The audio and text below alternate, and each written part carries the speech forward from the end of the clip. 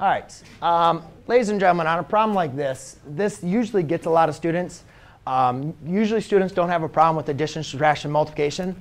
But then they always, some reason, always having a problem with division. And I think it's just because of fraction. They want to avoid fractions, Danielle, and they don't really always want to face them.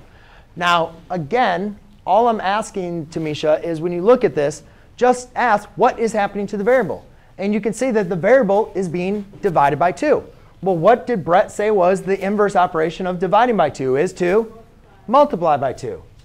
So we multiply by 2 on both sides. Now, I am taking my variable x, I am multiplying by 2 and dividing by 2.